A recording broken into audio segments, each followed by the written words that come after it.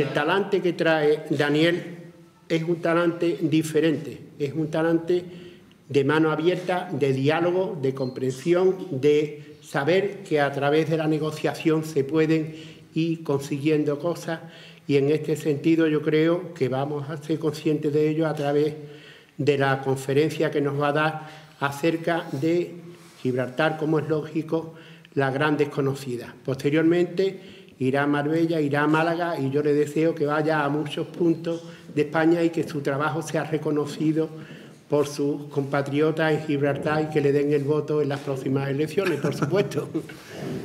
Tú tienes la palabra. Bueno, muchísimas gracias Álvaro, te lo agradezco mucho esa introducción. Me gustaría eh, comenzar también agradeciéndole al, eh, al, eh, al colectivo cultural esta invitación y la oportunidad de poder dirigirme a todos ustedes esta noche. Hoy os voy a hablar un poco eh, primero de mi filosofía política y visión en cuanto a las relaciones entre Gibraltar y España. Trataré de examinar también desde una perspectiva española cómo defectiva es la actual política del gobierno del PP en un marco de lo que son los objetivos de la diplomacia tradicional española hacia Gibraltar. Luego pasaré a hablar de las sinergias comunes entre Gibraltar y la zona del campo de Gibraltar y por último hablaré de cómo veo el tema del diálogo y en particular del llamado diálogo ad hoc o diálogo improvisado. Eh, soy el líder de la oposición de Gibraltar, he sido el líder de la oposición de Gibraltar desde marzo del 2013, eh, desde el año pasado, menos de dos años.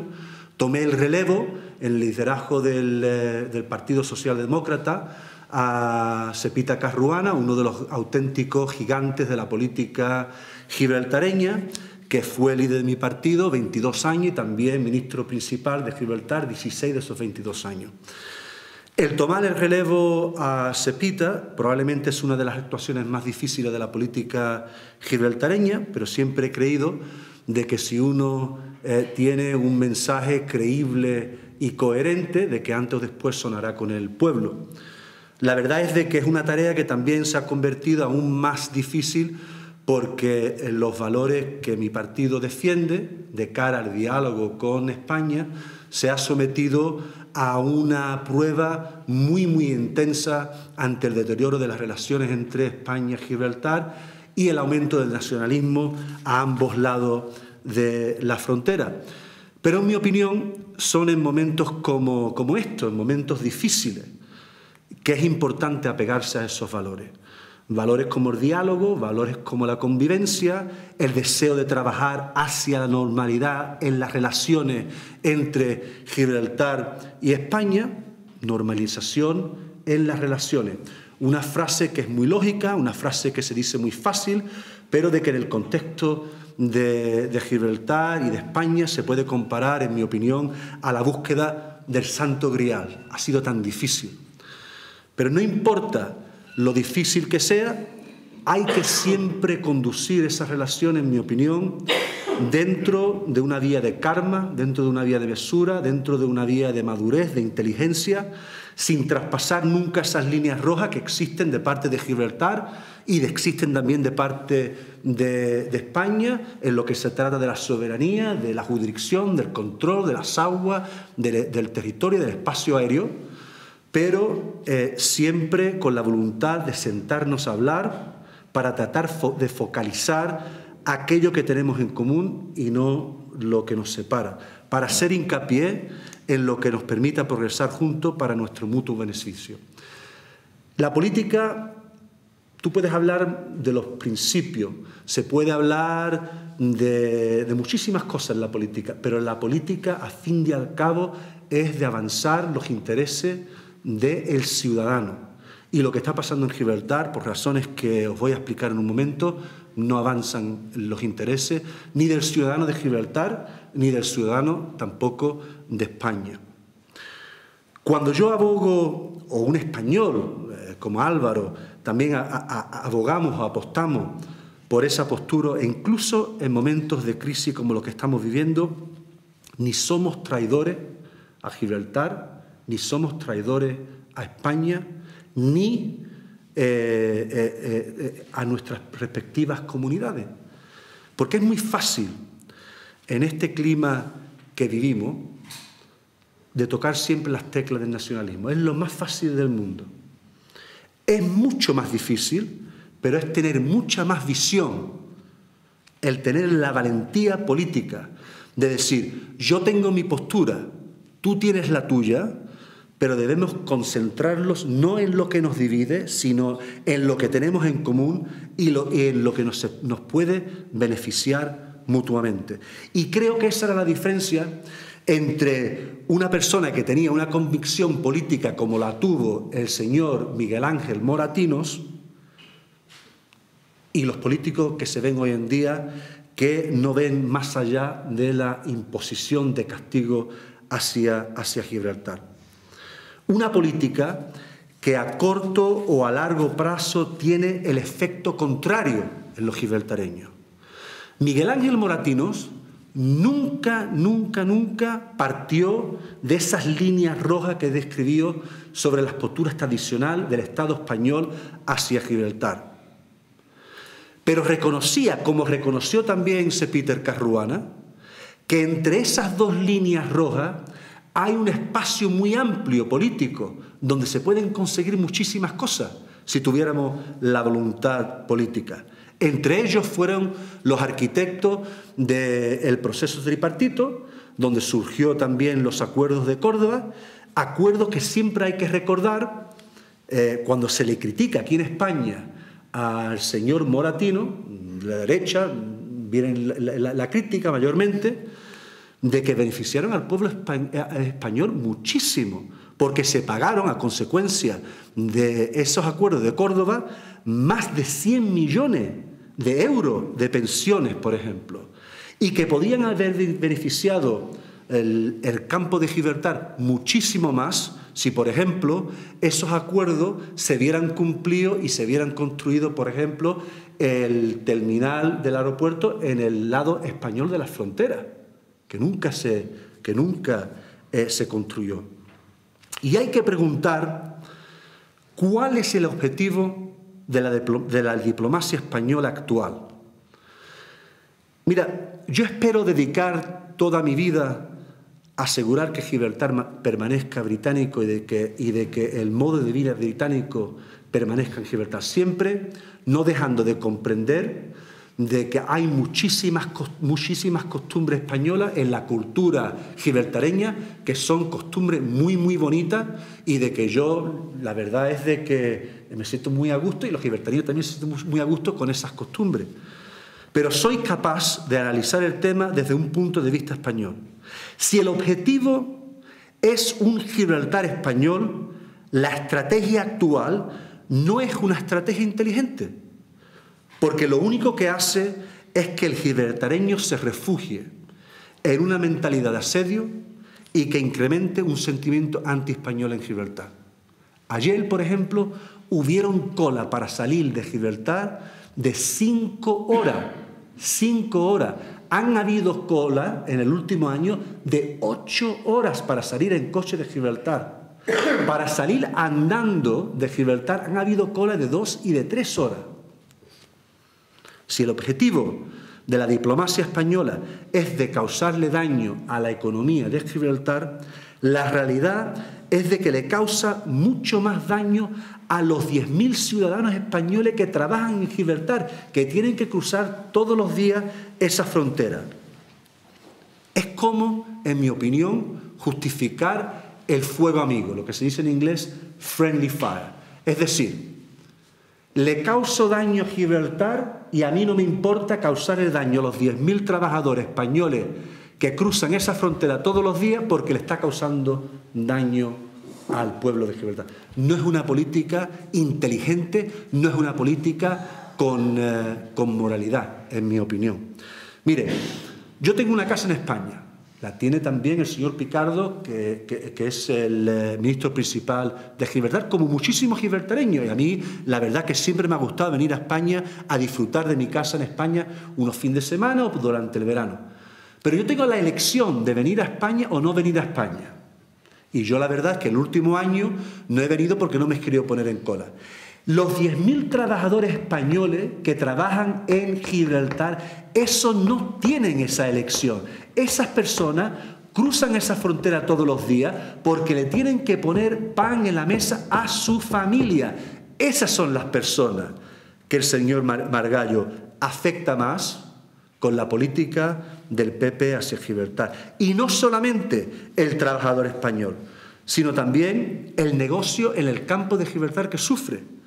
Hace unos años la Cámara de Comercio de Gibraltar eh, eh, eh, hizo un estudio, le pidió a un profesor eminente de la Universidad de Bournemouth, el profesor John Fletcher, un profesor muy, muy eminente en Inglaterra, que hiciera un estudio sobre el efecto de la economía del campo de Gibraltar en Gibraltar y, de la economía de Gibraltar en Gibraltar, en el campo de Gibraltar. Y él concluyó de que, y mostró de que el balance comercial favorable de la producción neta de la economía de Gibraltar en la, en la del campo de Gibraltar era de 200 millones de euros. Eso hace unos años, antes de la crisis actual. Muchos de los negocios del campo de Gibraltar reportan una pérdida del 40 al 50% del negocio a consecuencia de lo que está pasando en la frontera de, de Gibraltar y de España. Y todo esto sin tener en, en cuenta el daño que, que también sufren las relaciones bilaterales entre España y el Reino Unido. El embajador de España en Londres ha sido convocado más veces a las foronoces del Reino Unido que el embajador de Siria. Y eso dice, eso refleja el momento de estrés tan importante que están sufriendo las relaciones entre Reino Unido y las relaciones entre, entre España. Y la verdad es de que no tiene sentido alguno porque España tiene mayores intereses en la ONU, mayores intereses en las Naciones Unidas, mayores intereses en Europa que Gibraltar y depende de las buenas relaciones con el Reino Unido. Y la verdad también es que Gibraltar, que un Gibraltar español le causa más problemas a España que un Gibraltar británico por razones que os voy a explicar. Hay dos razones. Miren, yo tuve el privilegio de formar parte de la delegación gibraltareña que, negoció una constitución nueva con el Reino Unido desde el 2003 al 2007. Esa, eh, constitución que se aprobó en un referéndum en el 2006 y se aprobó en el 2007, se implementó en el 2007, le da a Gibraltar el máximo nivel de autonomía compatible con la soberanía británica. Más allá de la, constitución que tenemos, solamente hay la independencia para Gibraltar. El integrar a Gibraltar con esa constitución en un Estado español es causarle un gran problema a España de cara a Cataluña y el País Vasco, que, también van a querer exactamente la misma autonomía, porque la autonomía de Gibraltar es a un paso de la independencia sin también tener en cuenta las consecuencias para Ceuta y Melilla y las relaciones entre España y Marruecos. Hace muy poco, la Foreign Office eh, del Reino Unido hacía público papeles confidenciales de una conversación que tuvo el entonces rey de España, don Juan Carlos, con un granjero que era amigo de él, inglés, en una visita que él hizo a Inglaterra. Y esos papeles indican de que el, rey don Juan Carlos le dijo a este granjero, de que las consecuencias para Ceuta y Melilla de una entrega de la soberanía británica de Gibraltar a España era tan profunda que no le convenía a España que pasase. Esa era la opinión del rey de España en los años 80, en privado, lógicamente, en una conversación con un granjero, con un granjero inglés. Entonces, ni a un nivel macro político o diplomático, ni a un nivel humanitario o económico. No tiene sentido alguno la política de castigo del gobierno del PP hacia Gibraltar. Y es que, en mi opinión, la alternativa es clara. Hay una alternativa, una visión alternativa para Gibraltar y las relaciones entre Gibraltar y España. España debería, en mi opinión, de mirar a Gibraltar como una oportunidad y no como una espina al costado. Gibraltar representa una indudable oportunidad para esa zona de España. La realidad es de que nuestro crecimiento beneficia directamente a la población del campo de Gibraltar, tanto en términos de puestos de trabajo como de entrada de capital. Para darle un ejemplo, alrededor de uno de cada diez, uno de cada diez coches que circulan en el Reino Unido, en Inglaterra, en Escocia, en el país, en el país de Gales, en el norte de Irlanda. Uno de cada diez coches que circulan en el Reino Unido están aseguradas por aseguradoras ubicadas en Gibraltar. Eh, en el, campo de online gaming o juegos de apuestas en el Internet, alrededor del 60% de todas las apuestas realizadas por Internet en el Reino Unido, las personas poniendo apuestas en el Internet, se colocan con compañías de juego en Gibraltar. Es una cifra colosal. Considerando, considerando las posibilidades que Gibraltar puede ofrecer en el contexto de lo que tenemos en la zona, la verdad es que las posibilidades son sin límite. Esa región podría ser una auténtica fuente de prosperidad. Algeciras, el puerto, el segundo puerto más grande de España, uno de los puertos más grandes de contenedores en el mundo. La zona industrial de, San Roque, donde se encuentran ubicadas seis de las diez compañías de las empresas más grandes que hay en eh, en toda España.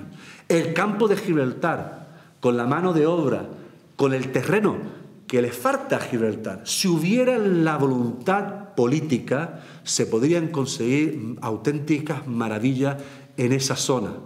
Y lo que hace falta es coger y ver a Gibraltar como una oportunidad, una oportunidad de beneficio mutuo para los ciudadanos a ambos, lados de la frontera.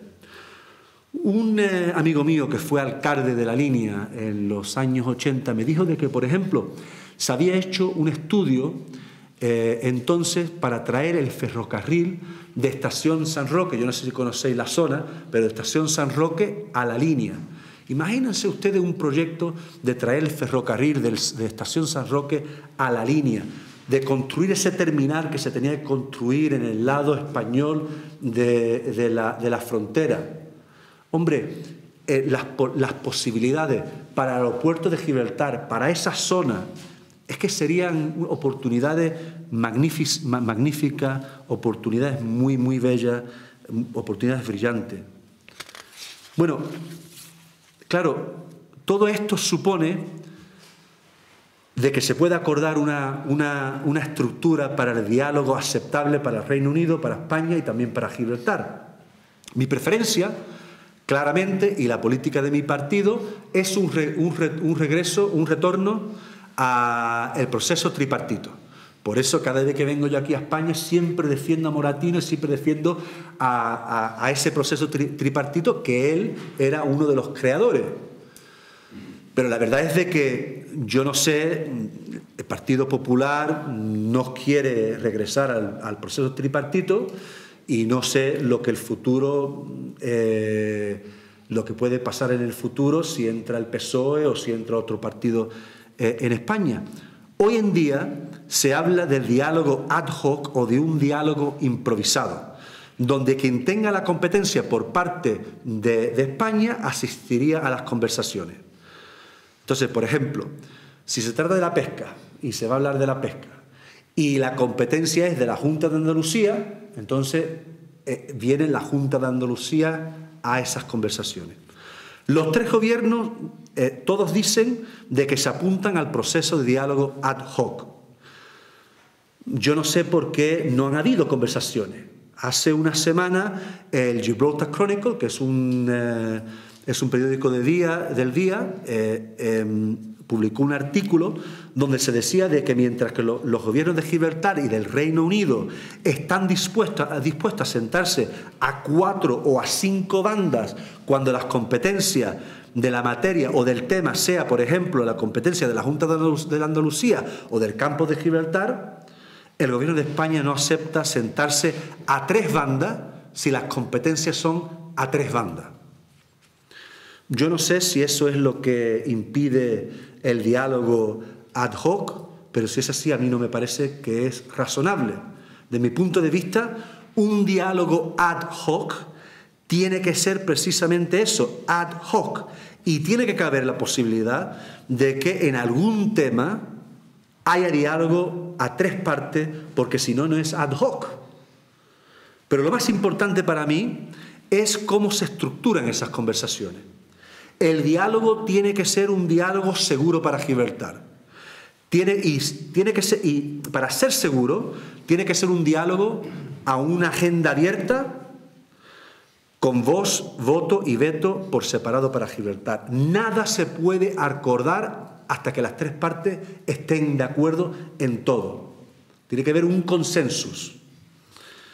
Yo la verdad es que no sé si es posible tener un diálogo profundo con el gobierno del PP, espero que lo sea. No soy muy optimista tampoco de que pase antes de las siguientes elecciones aquí en, España y elecciones también en el, eh, en el Reino Unido, pero lo creo lo que es importante es lo que estamos haciendo hoy, el crear puente, el que haya un diálogo, el que las personas de Gibraltar, políticos de Gibraltar, vengan aquí a España a explicar la postura de Gibraltar, a explicar las realidades de Gibraltar. No los mitos, sino las realidades.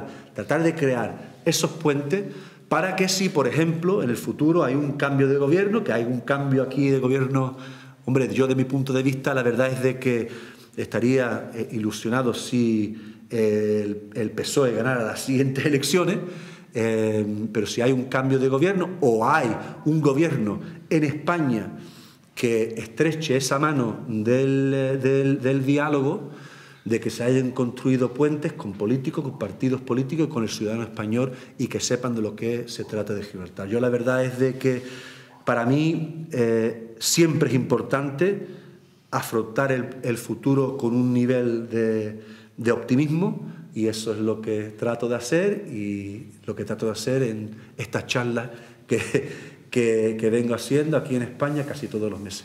Muchísimas gracias por escucharme. Eh, la verdad es que me, me, me, he ilusionado mucho de poder estar aquí hoy y si tenéis algunas preguntas, yo encantado de responder.